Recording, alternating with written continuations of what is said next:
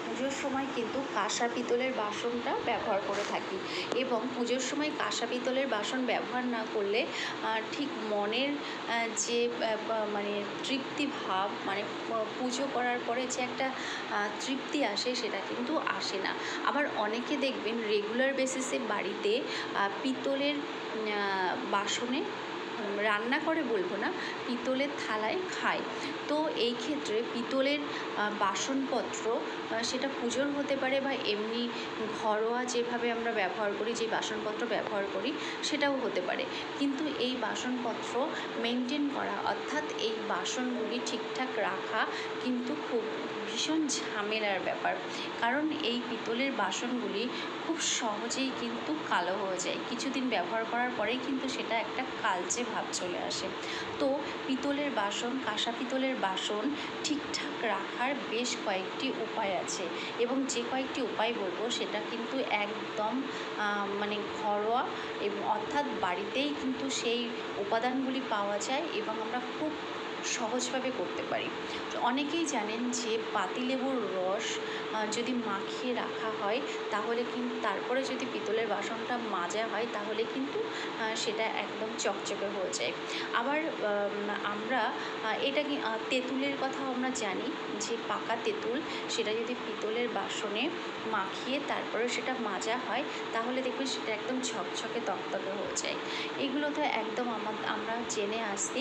কিন্তু আরও কিছু উপায় আছে যেটার যেটার অ্যাপ্লাই করলেও কিন্তু পিতলের বাসনপত্র ঠিকঠাক থাকে। আর ঝকঝকে থাকে। তো কি?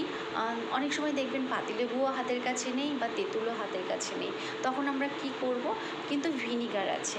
ভিনিগারের সাথে লবণ মিশিয়ে নেব। নেওয়ার পরে সেটা ভালো করে পিতলের, কাঁসা পিতলের বাসনপত্রের মধ্যে মাখিয়ে নেব। কিছুক্ষণ রাখার পরে সেটা মেজে নেব। দেখবেন বাসনপত্র একদম ঝকঝকে তকতকে হয়ে গেছে। আবার কি হতে পারে? যে কদম ফুলের নাম তো সকলেই শুনেছেন। কদম ফুলটা দেখবেন, ফুলটা যখন একদম পরিপক্ক হয়ে যায়, অর্থাৎ একদম ফুলটা একদম পরিণত হয়ে যায়, একদম পেকে পেকে যায় তখন দেখবেন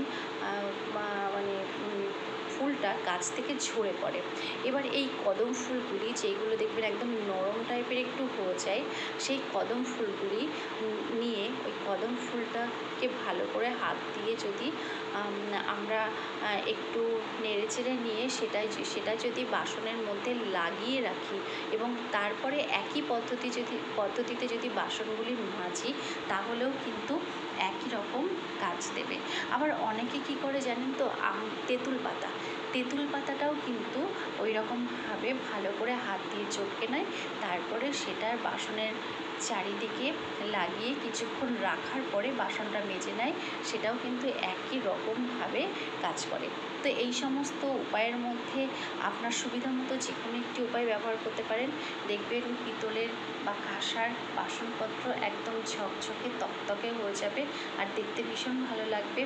আর আর মানে কষ্টসাধ্য হবে না এবং বাসনপত্র একদম কালো হয়ে যাবে না।